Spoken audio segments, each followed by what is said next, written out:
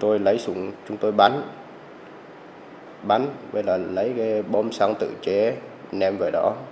Thấy người chỗ nào có người ở thì chúng tôi chúng tôi phải phải phải bắn hết.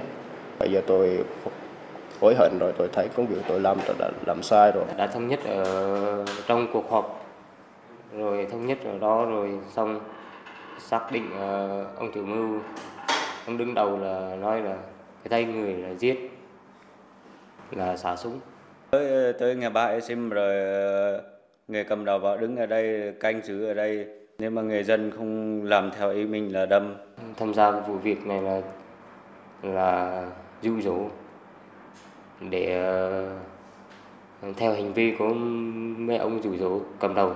Hẹn hẹn cho mình là uh, để cho mình cuộc sống rất là âm no và giàu sang.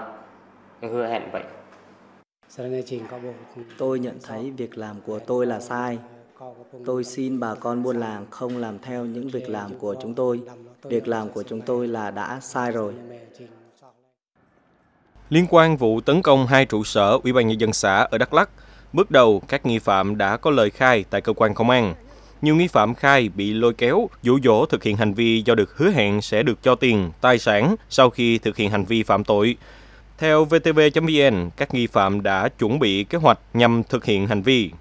Súng, dao, bom xăng, lựu đạn là những hung khí mà các nghi phạm đã sử dụng để thực hiện hành vi giết người đối với cán bộ và người dân. Các cửa sổ, cửa chính ở hai trụ sở Ủy ban nhân dân xã E Tiêu và E Catua đều bị đập phá, nhiều tài liệu giấy tờ bị đốt. Nghiêm trọng hơn, đó là gặp bất cứ ai ở trụ sở Ủy ban nhân dân hay người dân, các nghi phạm đều rất hung hãn. Sau khi đập phá cửa, các nghi phạm đã ném bom xăng vào các phòng. Rất nhiều loại giấy tờ lưu trữ quan trọng tại xã của người dân đã bị cháy hết.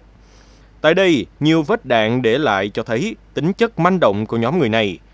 Sau khi đột nhập, đột phá hai trụ sở Ủy ban nhân dân xã, nhóm người này khi di chuyển trên đường đã tiếp tục sử dụng súng, dao, bom xăng khiến 5 người chết. Để thực hiện hành vi phạm tội nghiêm trọng này, nhóm nghi phạm đã bàn, phân công và đưa vũ khí cho từng đối tượng. Nhóm này có tính chất manh động, gồm người thuộc nhiều huyện trên địa bàn tỉnh Đắk Lắk. Vụ nổ súng của nhóm người này đã làm 9 người chết, 2 người bị thương. Tính đến 18 giờ ngày 13 tháng 6, lực lượng công an đã bắt giữ thêm được 6 nghi phạm tham gia vụ nổ súng, nâng tổng số nghi phạm bị bắt giữ lên 45.